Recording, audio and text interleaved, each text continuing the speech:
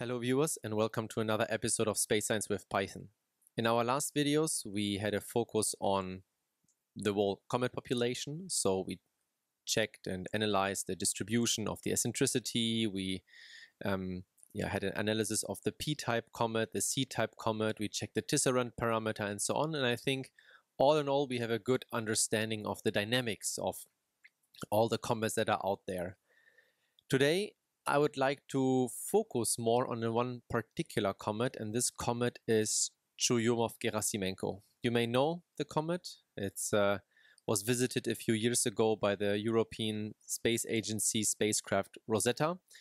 And Rosetta had also a small lander on board called, called Philae, which was then deployed and then it hopped around until it landed in some dark cavity running out of energy and yeah, that was basically it for the lander. Here you see one of the images from Rosetta. You see the comet core. Um, it was yeah, or it was like a two-body or binary object probably. So it appears that that the, there is a larger sphere here and a, a larger sphere here and a smaller one here being connected. And you see also here some activity due to the um, yeah, close distance between the comet and the sun. So you see some outgassing, gases, uh, dust, and so on being um, ejected into space. Now this picture here from Astronomy Picture of the Day, there are a lot of pictures here summarized, so I will provide the link in the description so you can click around and see some images here, for example, some close images of some cliffs and so on on the comet, so this looks really, really amazing. This is from the OSIRIS camera on board of Rosetta. We have also yeah, some nice shots from the jets. Yeah, some animated GIFs, for example. See the comet rotating and so on, and the jet. Also pretty nice. Yeah, and also some some images from far, far away where you see here also the jets, um, yeah, more enhanced, let's say. Now, all in all, we got a lot of pictures from from Churyumov-Gerasimenko. So not only from the um, scientific instrument OSIRIS, but also from the navigation camera NavCam. So a lot of images, a lot of data you can use to analyze the comet. Like for example, check the topography of the comet, check the checking the activities, and so on and so forth. And one of the analysis was later being provided and uploaded into the NAIF kernel repository, you may re recall the kernels from SPICE. And one of the kernels is the so-called DSK kernel. And the DSK kernel is the is a is a directory or a kernel type that stores the shape model of objects. So we have an actual shape models from the Rosetta mission, from some asteroids that have been visited, but also from the comet Churyumov-Gerasimenko that are stored here. So you will see a lot of different objects, some PNG, BDS file whatsoever, OBJ. Um, so a lot of different images uh, or, or models that are being stored here in this repository. Now, today I would like to download two of these images, uh, images uh, shape models, and show you how you can create a 3D model, how you can render the model, how you can interact with it, and we will use it also later for some scientific work. Not today, but today is only yeah, showing you how to read in this um, shape model file. But before we start, you may see that VS Code has been turned off. Um, today we need something called, which is called Qt. Um, so we need also some some some toolkits and so on to create um, some kind of uh, application. And it's a little bit, uh, yeah, it was a little bit difficult for me to get an application running inside a Docker container, and especially not inside a Docker container, but in remote containers on VS Code. So I was not able to run it. So we have today to work on with the classical Jupyter notebook you see here. Um, so if you're not familiar with how to run this uh, from the from the terminal, at the end of this of today's video, I will show you how to um, yeah run Jupyter Notebook or Jupyter Lab server um, from your terminal, so outside of VS Code. And please also note that the requirements txt has been as well updated for this, we call it rendering or GUI part. The first thing is PyQt5, okay? And the second thing is VisVis. And VisVis is this, is this nice small library. I totally like that. Um, I think it's also already several years old. I started using it in my bachelor thesis. Um, I found it, I don't know how and when. I think it was part of even, or started with Python 2.7 or so. And I always like that. It's It has some nice rendering capabilities for 3D stuff. Um, it does not have a lot of recognition here on GitHub, 190 stars around. Um, okay, I'm not signed in, but yeah, I started as well. And I, really like that, that library uh, from uh, Almar Klein. And yeah, I will provide the link also into the description of the YouTube video.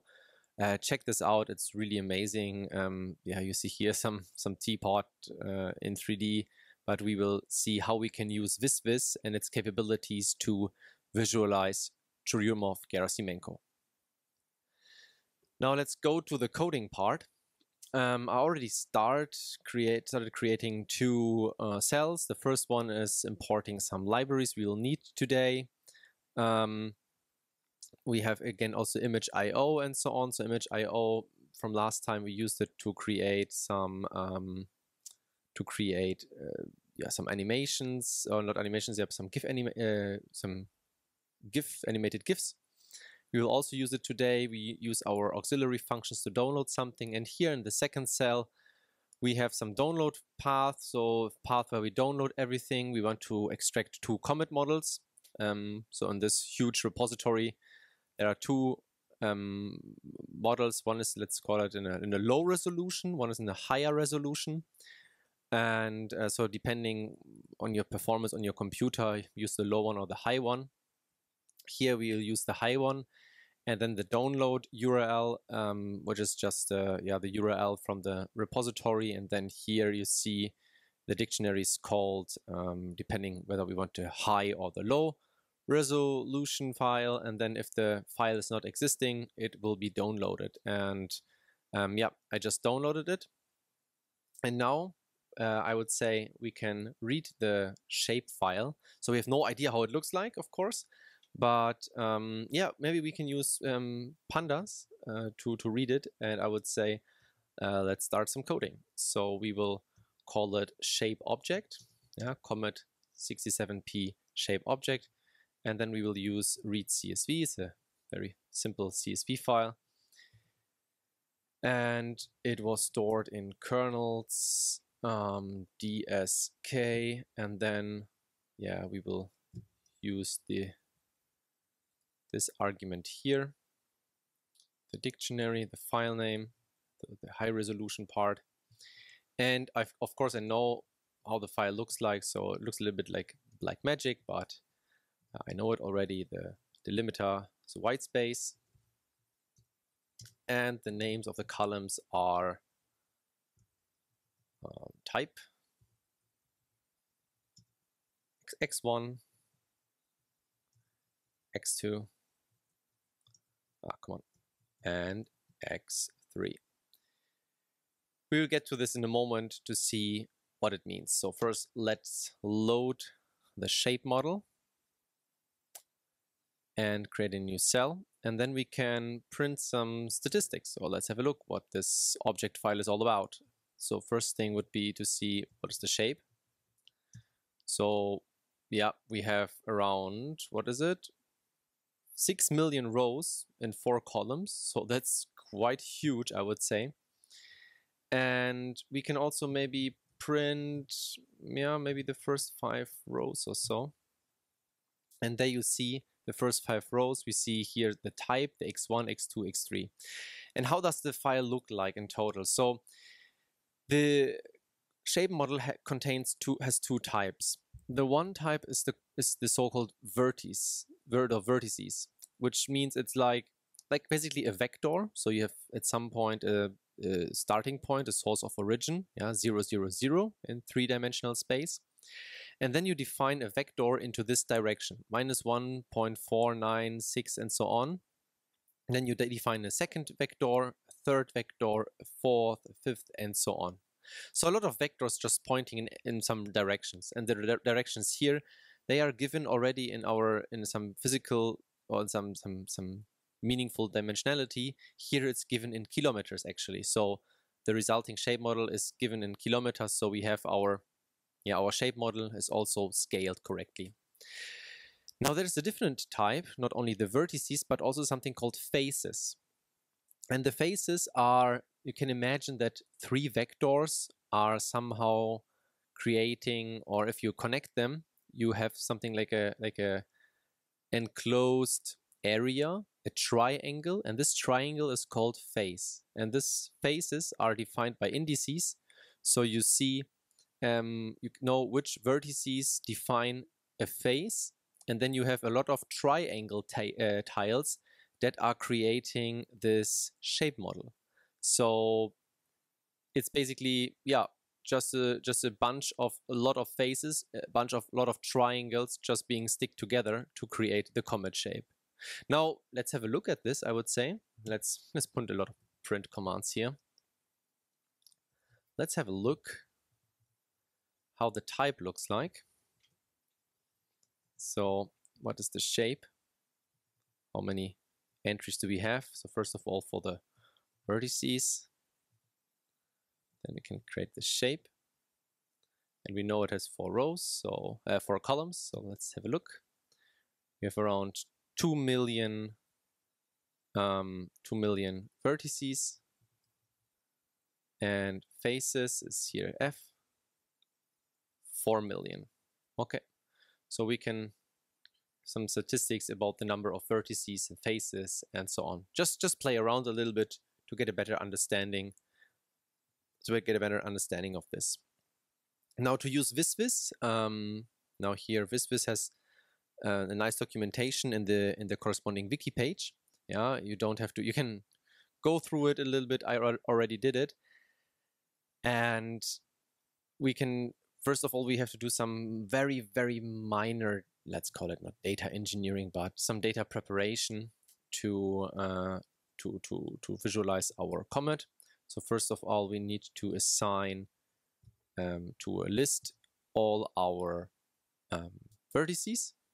So we say the type shall be equal to v. And then we need not the type, but we need the x1, x2, and x3. So we need the values and this needs to be converted to a list, to a list.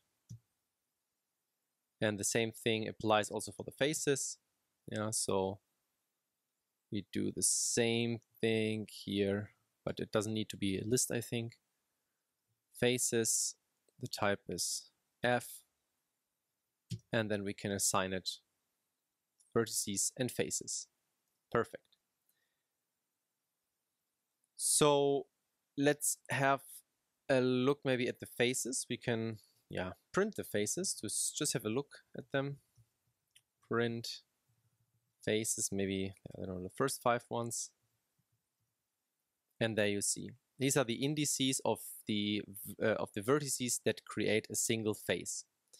Now the thing is, or important to know is that uh, what is the minimum index?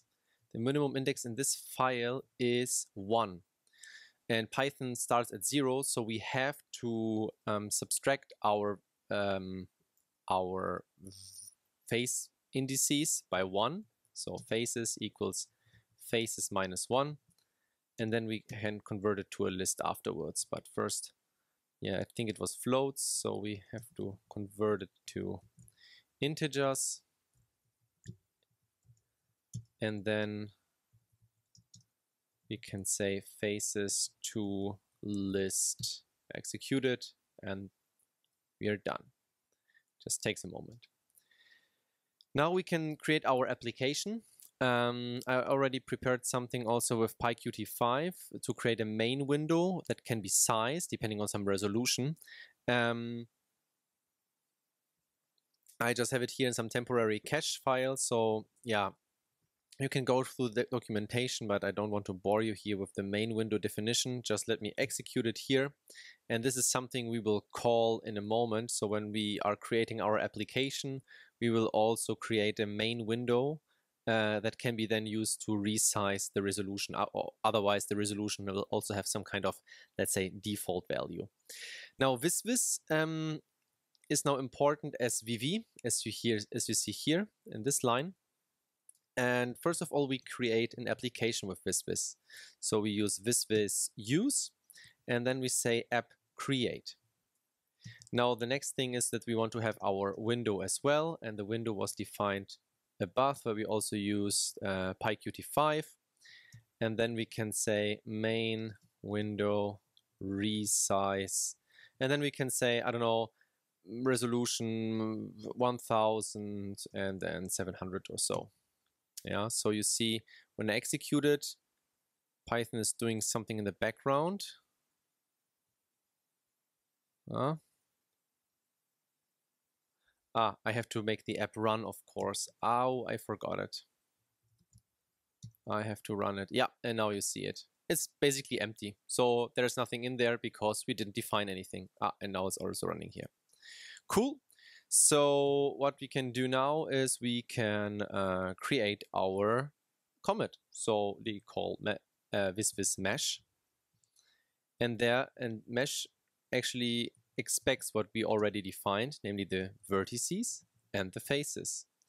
And then we say also vertices per face is equals 3 because maybe there are other definitions using 4 or 5. And then we can run it and we should get our comet. Yeah, there it is. And there you see the comet. Yeah, so this is pretty nice and fancy, but we see, yeah, let's let's do some some some before we play around with this. Let's let's do some changes. And I already already played around a lot with it. It's uh, a little bit familiar. Maybe you get a little bit familiar. Um, you, you you the commands you see are a little bit familiar for you if you already have some experience, for example, with matplotlib. So for example, you can get the axis and then you can say, okay, I want to have a different background color for the axis. Of course, the commands are here a little bit different. Space is black, so let's use the spaces. Let's also get rid of the grid because um, let's purely focus on um, on the shape and then also making it invisible. The grid turning off and the axis visible equals false as well. And then we can also set, have to set a camera. The camera here is um, 3D, it's called 3D camera, so we can interact with it nicely. It's also very cool to to play around with the camera. So you can, for example, set a field of view in degrees. Yeah, you can make 120 degrees with some fisheye lens or some some some tele lens with 10 degrees. Let's stick with 60 degrees, for example. And then you can also set some initial values for the elevation and for the azimuth. So for example, you can say, okay, I would like to have my initial camera at an azimuth of, um, let's say 120 degrees. And for the uh, elevation, we use, for example, 25 degrees. Yeah, just as a small example. And then we can run it. And yeah, my Mac Mini is not always so fast. Takes some time. And there we are. This is our shape model. And now you will see that there are a lot of there's a lot of information in there. My Mac Mini is a little bit slow um, with the rendering. So if you have a more powerful machine, that's good. Oh, you see it's a little bit. Oh, it's laggy. So I can maybe resize the main window a little bit. Now it's very small for a YouTube video, but it should be a little bit faster. Okay, I'm also screen recording, so this makes it probably even worse. Um, oh yeah, that's really bad. Jeez, that's not good. But you, but I think you get the idea, right? And I will also, we will also create some kind of um, sort of animated GIF for this. So just in a moment, you can zoom in here. You see here the structures of the comet. You see here um, it consists of two, let's call it, call it spheres, the smaller one, the larger one. We have here some kind of boulders or rocks in there. He's also quite smooth, so it's probably covered with dust. We have some other areas that are more, yeah, reminding us of cliffs and so on. And if you zoom down under the comet, you see it's the shape is not really well defined. And that's because during the Rosetta mission, the entire uh, lower side or the lower side of the comet was always uh, on the night side. And that was quite difficult to get a perfect image of this part. So this remains a mystery. And um, yeah, oh, this is not good to show in a YouTube video. This is so slow. But you get the spirit, I think, right? It looks pretty amazing, I would say. Yeah. So play around a little bit and see what you can do with it. Now, um, let me go already here. Um, now we can create an animation. you maybe saw it. Uh, I already created one. So in the same same way as we did it for the tisserand parameter, we will create a small um, a small animation, let's say a camera that goes around the comet in uh, one degree steps for 360 degrees. So um, complete view around, and then we can also add a little bit of the of the of some some specifications of the of the lightings and so on to make it more realistic. So let's first create a smaller window so it's a little bit maybe faster to create. We are um, also creating our mesh the same way as before. And then we can change the parameters of the shape object, which is, which is quite nice. So can, for example, say that this specular value should be zero. So you saw it was quite shiny, like like the comet was made out of um, I don't know silver or so, but it's not really realistic feeling. Let's say. Of course, now it's getting more into direction of art and rendering, but um, yeah, let's let's let's change the shape a little bit. You can also make the um, reflection a little bit more diffuse and so on. So you can play around with a lot of stuff. Now the next thing is a little bit, maybe appears a little bit like black magic, but we have to create, uh, extract the figure. Then the figure net needs to be updated when we are rotating the um, the camera angle, but you will see it in a moment. We also have, or we should, we can also define all uh, background color again of the axis. We should do this as well. Also turning off the uh, grid and the um, and the labels and so on. So turning off everything. Also, let's stick with the same camera settings. 60 degrees appear, appears to be nice. And then we can also define some kind of zoom. So we can zoom out for our initial uh, uh, rendering and then we can also play around with the light settings. Now this again, this is a little bit like, yeah, what am I doing here? Just playing around. Yes, it's basically a little bit playing around when you do it the first time. And um, yeah, just do it. Ch change some settings, and you will see how everything changes. Here we can yeah can turn off the uh, the main light, so there's some default, and now we can create our own our own light source um, that maybe should yeah, remind us of the uh, of the sun or so. So we turn on some light source, and then we can also set the position of the light source. I mean, I don't want to put it at one AU now or five AU. Yeah, just put it at five kilometers from XYZ. And then we can create our for loop where we are creating or rendering our comet images. So what do we want to change? We want to change the azimuth angle of our camera. Let's use also TQDM to see how fast this goes. And the azimuth angle should go from 0 to 360 degrees or 359. So this is our for loop where we are creating our, um, our rendering. So with every step in the for loop, we are doing an up, doing an update of the uh, of the azimuth angle of the camera. So we just assign it a new value here. And then we can draw the axis And then we need to also update the entire figure draw now. And then we can um, extract maybe a temporary image of it. So this is get frame. So we get the frame from what we are displaying and put it into the temp image um, variable.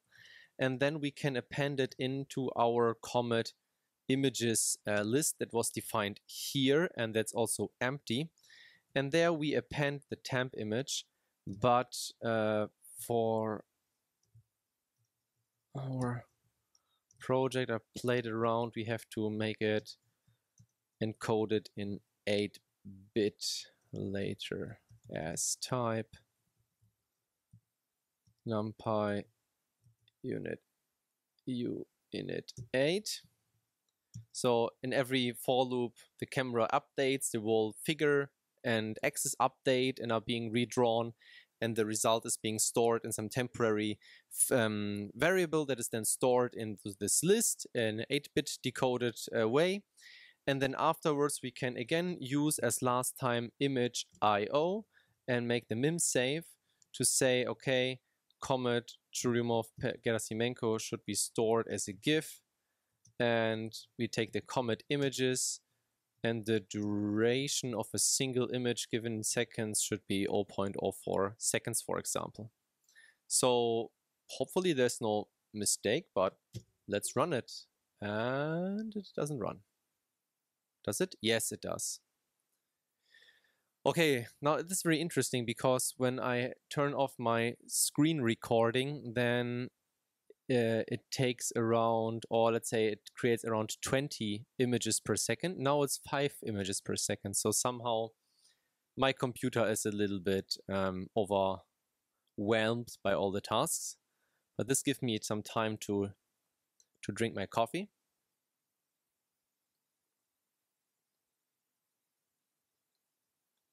Almost a little bit late for coffee, but still. So we are creating our images. We are saving them afterwards. So now the for loop is still the for loop that um, creates the images. In the background, they're actually being rendered, but let's not spoil ourselves. Let's wait until this is finished. Five more seconds.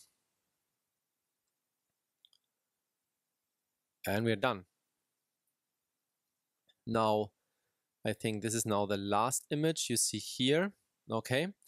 And here's our resulting GIF. I think it was now overwritten by the most uh, yeah, I created it today already an hour ago for testing purposes and I modified it just a moment ago. Yeah, I just rewrote it, recreated it, and now I can use uh, for example, here Safari to visualize it. And there you go. There you see the creation of the GIF. Okay, there are some artifacts, a little bit weird. I think this maybe Safari is creating it, or maybe due to the encoding. No, it's a little bit unfortunate. But again, just play around a little bit and see what you can do. Do I see? Yeah, I see it here as well. Ah, that's quite bad. Oh, that's really bad. That's really bad. Well, it won't get any award for uh, 3D animations, or so. But hey, you get a good understanding and and feeling how the comet looks like, not only from images, but really you have your own 3D model now. Your your scripts you can use other shape models from other asteroids or comets that we have. I mean, truly Churyumov Gerasimenko is the most high resolution object we have. It's it's really amazing. Um, yeah, maybe you can play around to get rid of these stupid artifacts here. Um, when I wrote the script, I used it for the low resolution image, which has only, I think, only a fifth or so of the faces. Maybe it's because of this. I don't know. And now you may say, yeah, cool, rendering 3D and so on. Is it even helpful from a scientific perspective? So let's get to the summary and let's see uh, what we can do. And I don't want to uh, make some advertisement for a publication or work I was working on, but I personally was working on the Philae lander mission on an instrument called the Dust Impact Monitor. So you see here a paper published on astronomy and astrophysics. Um, the paper is also available for free, so free access. I will provide the link into the description. Yeah, you see here is also my name in there um, with the affiliations at this time. Oh, already seven years ago, so or this is six and a half years ago. This is amazing. And then we wrote a small paper about the landing procedure of Philae when it was being deployed. And our instrument was uh, responsible for measuring, measuring dust particles. Small spoiler, we measured, I think, if I recall it correctly, a single particle. So it was, uh, yeah, not a big scientific output, but still quite interesting. And with the instrument we have, I'm not getting into detail today, um, we can we could we were able to um, compute or determine the um, material properties of this particle. So the the the yeah not only the shape or so, but also some some other elasticity uh, values and whatsoever. And I just opened the paper. The paper is here. And let's zoom out a little bit. So you can maybe go through it a little bit. There's a lot of uh, explanations about Rosetta and Philae, what the instrument is all about. Instrument was mounted here on the lander. So this is actually the lander. There is the instrument on top of it. Some explanations, the dust, the dust impact monitor, this was the name of the instrument. Some equations are also shown, then our measurement values during the descent phase and so on, etc. And now this image here, that I created with a colleague together. And it appears a little bit familiar for you, maybe. Yeah, I actually used VisVis and Python and everything to create the shape model. I used uh, Spice and the kernels of the Philae lander to determine the trajectory of the of the uh, of the uh, of the lander to see where it was supposed to land. Uh, we also colored uh, the areas where our instrument was active, so here in gray. And then my colleague, um, he created a 3D model of the uh, Philae lander with the determined the corresponding yeah pointing or alignment of the of Philae. You see the, the, the, the legs are pointing towards the comet. Of course, this is not in scale. And um, yeah, he for the for the time where the particle impacted the instrument, we computed the pointing and also where was the sun, where did the particle come from, and so on. And then we put put everything into a paper. So what you just learned in this small Jupyter notebook is something you can use for actual scientific insights. So that's pretty amazing. And we will do this. I think, yeah, maybe we can at next time or at some other time we will use the Philae kernels to compute the tra trajectory and we can also see whether we find online somewhere the um, original data of this instrument so uh, to show you that you have all the tools and the access yeah, because the data is available for free to recreate this figure for example and this analysis we did so you can download all the data and see okay, um, was it was it is it realistic what we did or not? And with the faces we have here, or vertices and faces of the comet, were, we were then also able to compute the distance to the barycenter and to the surface. So the barycenter lays maybe around here. The surface is closer to the Philae. So this graph makes also sense. So the distance of, of the lander versus the time um, when it was deployed and so on and um, yeah so yeah some analysis afterwards and yeah some equations if you're into this just go ahead yeah so you see even with the small um, script we created here we have a nice foundation to do some actual science um, that was even published in a in a nice uh, journal called astronomy and astrophysics so yeah I hope you will create these 3D models. I hope you enjoyed the, uh, today's video. And don't forget, after my final words here, I will add a small video afterwards to show you how to start the Jupyter lab from the terminal. Until next time. Okay, I'm back um, to show you how to start Jupyter Lab from the terminal. Um, maybe everybody of you has their have their uh, environment, the virtual environment, um, somewhere else probably. Uh, I just I would just recommend I think the second or the third video I created showing how to create virtual environments. Um, I will provide the link into the description. Um, but now let's assume you have a Python environment, you have a terminal, for example, on Mac or Linux. For all Windows users, I'm sorry, I'm not, I I really don't know how to do it there. Um, yeah, I think there are, of course, also some tutorials. Now I'm in my Astroniz uh, YouTube tutorial uh, library, uh, directory, not library, where we have here code number, um, yeah, tutorial number 22, Comet in 3D. And first we need to start the, um, uh, we have to, to, to, to, to start the environment, Python environment. So we doing source, going into the Python environment. Where was it? I think, I know, a little bit back. So I have to go two directories back, Python environment, Astroniz, uh, bin sor uh, activate. So now it's activated. Oh, it actually was already activated. So what a pity, but it doesn't matter. And now you can simply start Jupyter minus lab and then it starts and there you go. Uh, it's now Firefox started, but yeah, should load. Yep, there it is in um, now in Firefox with my, my a lot of bookmarks. Bookmarks I save and never read. You you know the feeling probably. And there we have Jupyter Lab, and then you can play around a little bit. Yeah. Again, I recommend the other video I uploaded a few weeks ago.